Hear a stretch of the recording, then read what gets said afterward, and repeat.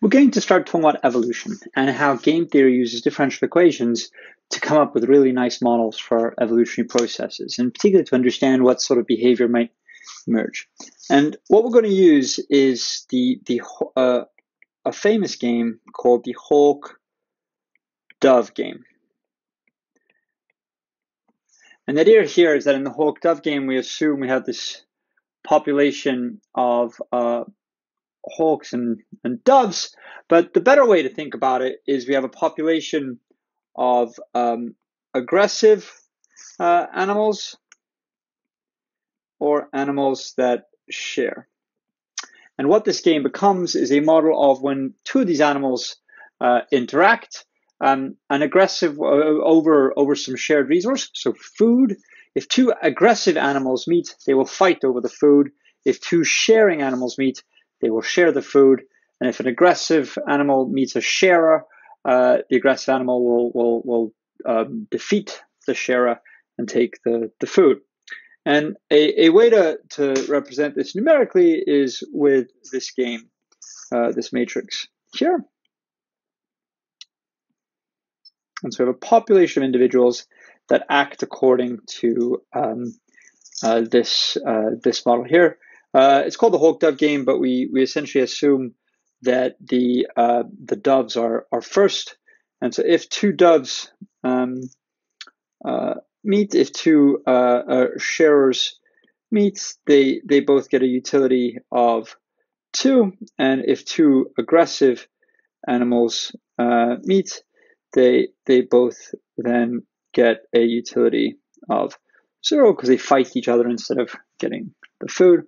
And then we have this final point, which is if an aggressive animal uh, meets a sharer, they get three, and the sharer gets one. So essentially, have four bits of food uh, that will get shared, or fought over, or indeed lost. Okay. Now, um, what would happen if uh, we let this population grow? So, what is the likely effect of, let's say, um, we have a population of nothing but sharers, and then there's a genetic mutation or a new animal is introduced to the population, and we have an aggressive uh, individual, right? Will this uh, aggressive individual take all the food and essentially over time uh, gain more fitness and take over the population? So from generation to generation, because the aggressive individual will have more food, they'll be more likely to reproduce and they'll be more likely uh, to pass on their genes and will have an aggressive population. But of course, as the number of aggressive individuals in the population grows, the more likely we are to have a lower fitness, and perhaps the doves start start gaining um, more.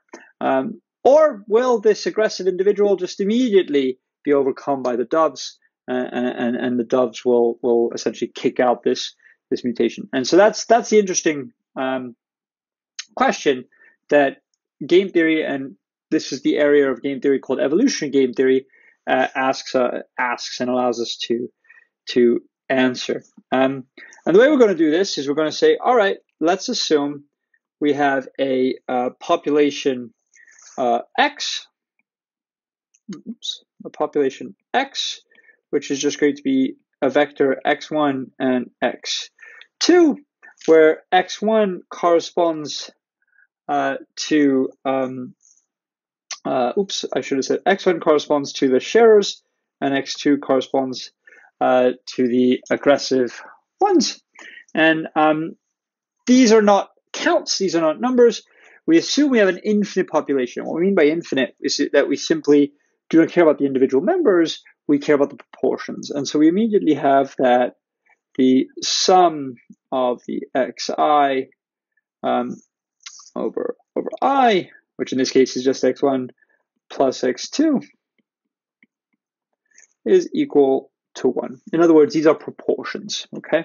So a 50, a population with 50% of our, our population being each would be, well, that would be 0.5 and that would be 0.5, okay? And then what we get interested in is what happens to an individual in this population. And uh, this here is a, an X, and here I have an individual, which will be denoted by a chi, so a slightly fancier x. I'll also try and use a, a different color. And this chi will also be a vector of chi1 and chi2.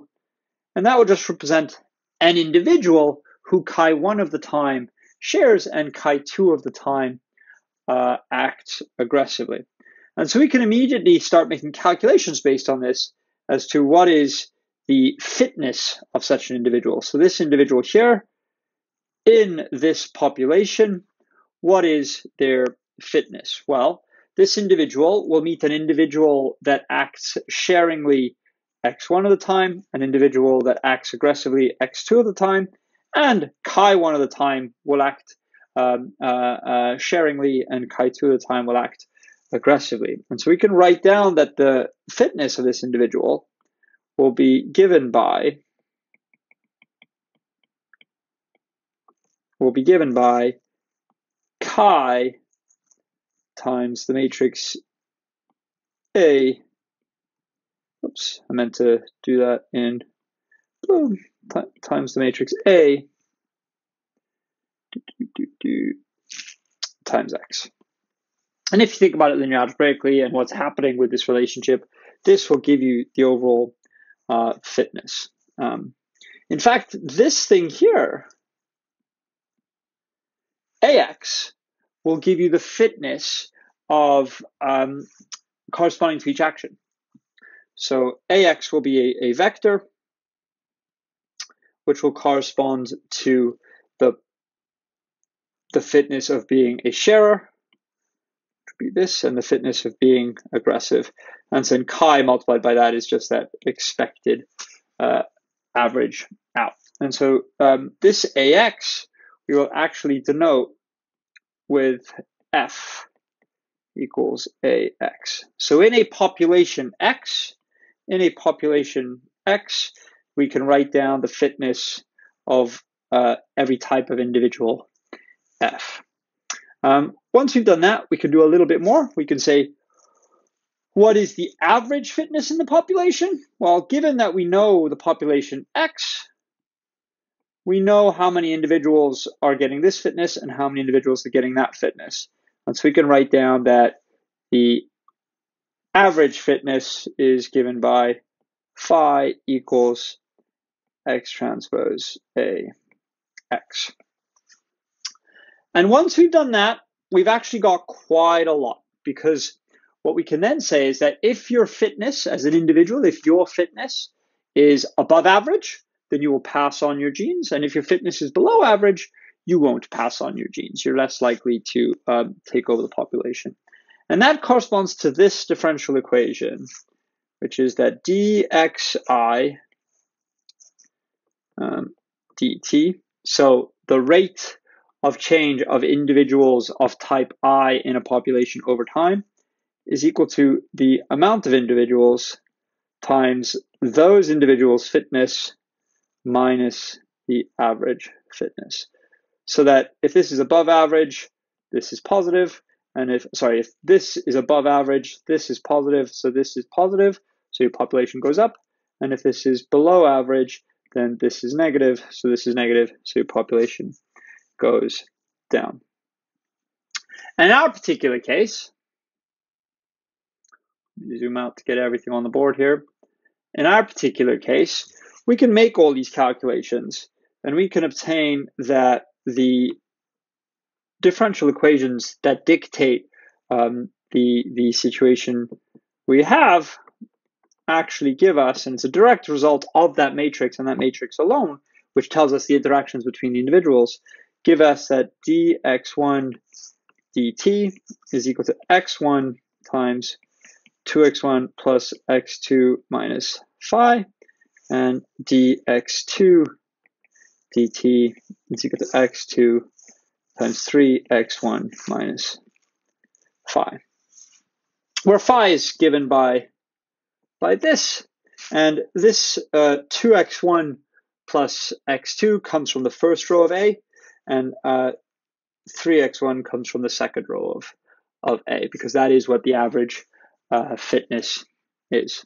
And what's quite neat is that these equations can be solved uh, numerically and they look like this. So here we're saying, all right, let's assume we start with a population mostly with X1. So our portion of X1 is quite high. So we've got mostly sharing individuals and we introduce an aggressive individual.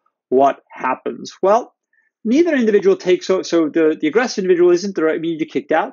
The uh, sharing individual don't, uh, sorry, the aggressive individual is neither uh, uh immediately kicked out or um, uh, the, does the aggressive individual take over the population?